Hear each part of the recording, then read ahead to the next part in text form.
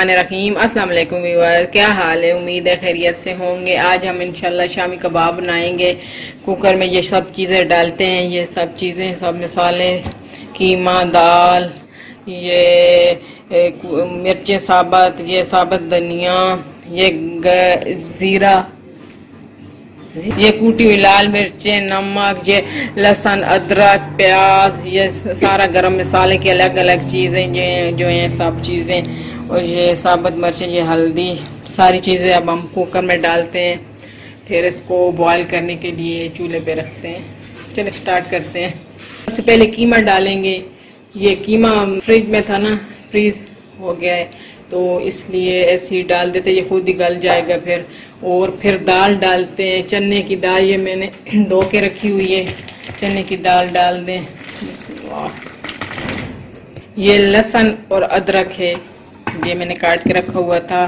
ये ये साबत मिर्चें हैं, लाल, सूखी। ये कटे हुई प्याज हैं। और ये ये सारा गरम मसाला सब इलायची इलायची, ज़ीरा वगैरह। और ये हल्दी है थोड़ी सी और ये तकरीबन दो चम्मच नमक है।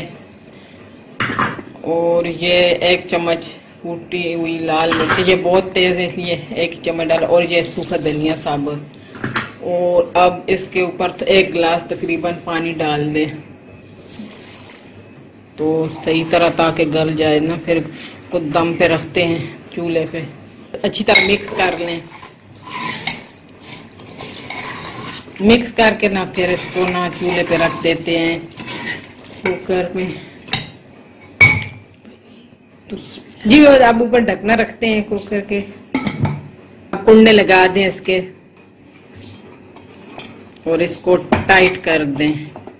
ये जो है ना, वो टाइट कर टाइट कर दें। अब ये सीटी वगैरह भी लगा दें इसके ऊपर, वो करके।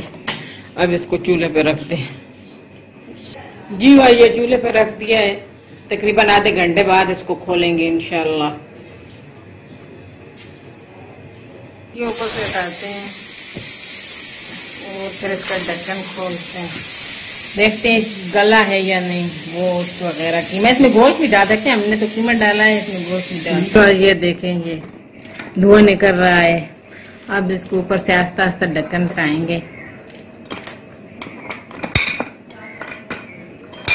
बिस्मिल्लाहिर्रहमानिर्रहीम। कुंडों से पकड़ के इसका ऊपर से देखते हैं। माशाल्लाह, ये देखें, ये अब इसको चेक करते हैं, ये गले मिसाले या नहीं। जिसको अच्छी तरह चम्मच ला के देखें। जी वही ये देखें, माशाल्लाह, ये सब चीज़ें गल गई हैं।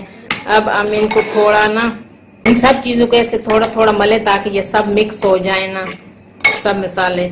हमने तो कीमा डाला था, आप गोश्त भी डाल सकते हैं ना, जो चीज़ डाले, गल जाएगी इसमें।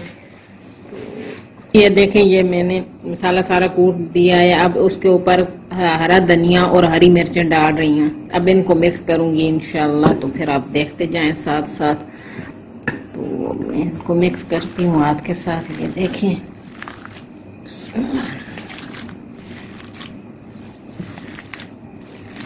ये सारा मलीदा बन गया है शामी कबाब के लिए। तो इसकी टिक्कियाँ बना के मैं रखती हूँ ना फ्रिज में, फिर मैं इसको कुछ देर बाद इसको, इनको फ्राई करूँगी टिक्कियाँ को। ये मैंने अंडा तोड़ के डाला है। अब इसको फेंटती हूँ ये ऊपर टिक्के के ऊपर लेप करके फिर इसको फ्राई करेंगे। इस तरह मैं इसको फेंटती हूँ।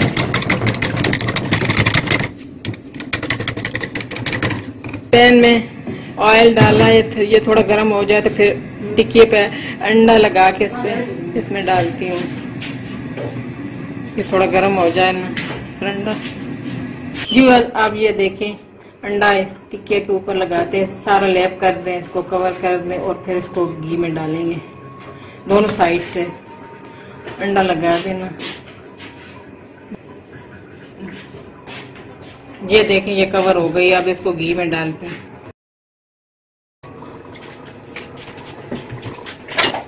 लगाते जाएँगे और डालते जाएँगे।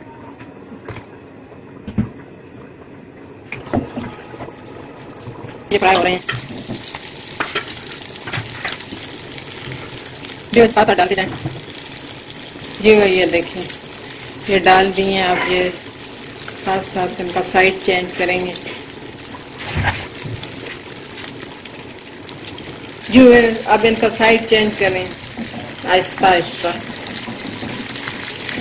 आहिस्ता आहिस्ता इनका साइड चेंज करते जाए। ये देखे ये कबाब तैयार हो गया शामी कबाब। ये देखे, माशाल्लाह। कितना प्यारा लग रहा है।